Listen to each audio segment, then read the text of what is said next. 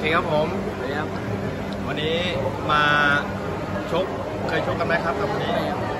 ในหน่อยรูปเกมเป็นไงครับน้องชาย ก็ตามสไตล์เรา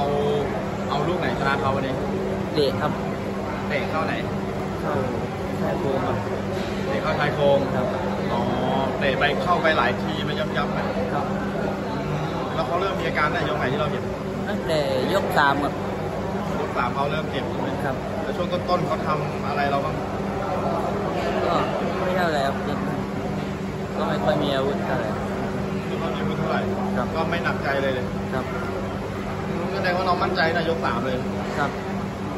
อืมอ่าพิกัดเท่าไหร่ครับวันนี้ร้อยแปดปอนด์ครับร้อยแปดเราน้ำหนักที่ดีที่สุดในร้อยแปดได้ได้อยู่ใช่ไหมครับแล้วมาชงที่นี่กี่ครั้งแล้วน้อง นี่ครั้งที่สองครับครั้งที่สองชนะหมดไหมชนะหมดแล้วชนะหมดเลยโอ้ได้ชีพไหมวะเนี่ยไม่ได้ ไม่ได้ เพราะว่าเราม้วนเดียวอะเด็ครับเจ็บตรงไหนบ้างไหมครับ ไม่ครับ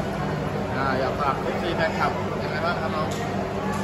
ขอบคุณ FC แฟนคลับทุกคนที่ให้กำลังใจครับ